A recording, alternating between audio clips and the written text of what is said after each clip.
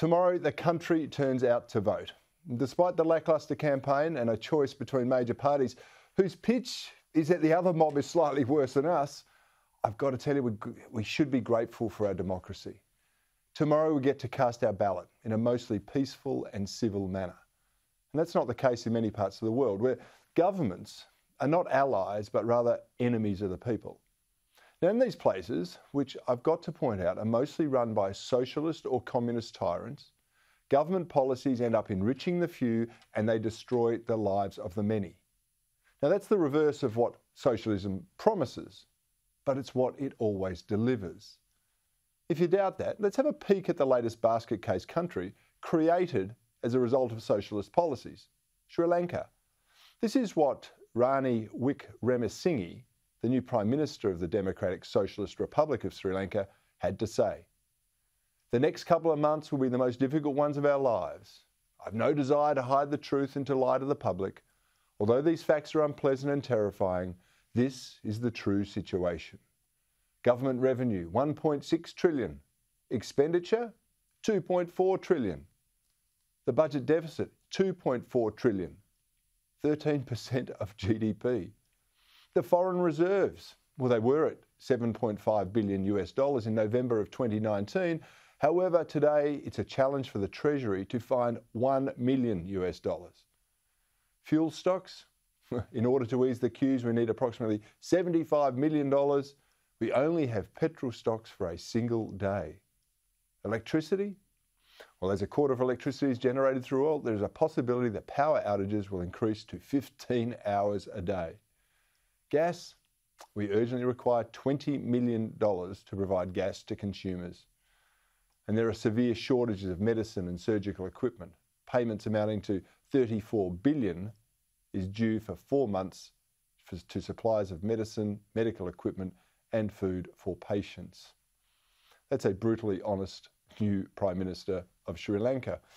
Luckily, the Sri Lankans accepted the Belt and Road Initiative from the Chinese Communist Party, and it may be that the Communists will now call that debt in and repossess the entire country as payment.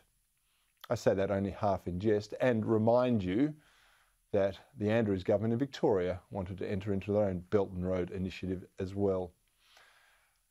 I could say it's much the same in a country like Venezuela, a previously prosperous nation now on its knees thanks to the introduction of socialism and the policies of a chap named Hugo Chavez.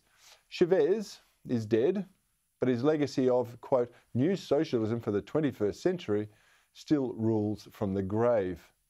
Alarmingly, this man was invited by a bunch of notable Australian leftists, including ABC presenter Philip Adams, former Democrat Senator Natasha Stott Despoja, some Green senators, a bunch of union officials, and other propagandists to visit this country. In a fawning letter from 2007, the signatories wrote, and I quote, What Venezuela has been able to achieve in so little time will be a source of inspiration and ideas for many in Australia. End quote. Well, they're right. If you actually want to destroy this nation, Venezuela has the world's largest proven fuel reserves in the world, and yet it has food shortages, it's got a healthcare system that's collapsed, a monthly inflation rate of over 2,000%, and a currency whose printed notes are cheaper to use as toilet paper than the real thing. This is all a result of socialism in action. It turns hope and opportunity into despair and poverty. It destroys the good while building the bad. And yet, alarmingly, we see more people in the prosperous West demanding a new version of it. I should remind you that Anthony Albanese is part of the socialist left faction of Labor, and I have to say he looks set to be our next Prime Minister. Now, that does not mean we're going to end up like Sri Lanka or Venezuela, but I'm here to tell you we simply cannot afford more centralised power, less personal autonomy, and greater government involvement in our lives. And that's why I'm so disappointed by this election campaign. Frankly, neither major party have made the pitch that less of them delivers more for us. Instead, it's more borrowed money chasing rented votes amid claims the other mob would be much, much worse than we're going to be. And in truth, I think both the major parties have done a poor job. The debt levels in this country are unprecedented. We are weak militarily. We've got food shortages, empty supermarket shelves, the rationing of toilet paper, for goodness sake, we had last year. Inflation is high and rising, Housing is unaffordable for many. The cost of living is almost out of control. And still, governments tell us we're apparently the lucky ones. Well, I will admit we are all fortunate to be of this land, but it's rapidly becoming a different nation from the one we used to know. And whomever wins tomorrow, it looks set for even more radical change. Although they don't want you to know it, both major parties are lined up to back the World Health Organization Pandemic Response Treaty.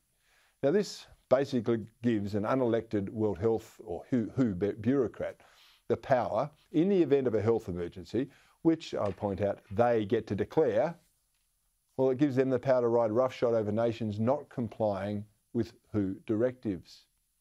It's a global version of the European Union where elected MPs they have no power to override the bureaucratic powers of decree.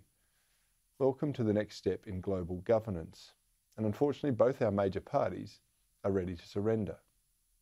Well, I'm not ready to surrender myself, and I don't think you should be either. It's why I will be supporting freedom with my vote tomorrow. And that decision won't change who forms government, but it can help to shape the state of the Senate. And frankly, that's our last best hope. A Senate crossbench of freedom lovers can help save us from the major party globalist agenda. It can help to protect free speech, personal autonomy, and our national sovereignty. It can work for us against the creep of modern day socialism that's already created a welfare state and seemingly incentivised the expectations of handouts and dependency. Now remember, the people of Venezuela and Sri Lanka, they believed all the soothsaying of their governments as they promised recovery was just always around the corner. We're being fed the same lines by our mob, all while things getting steadily worse.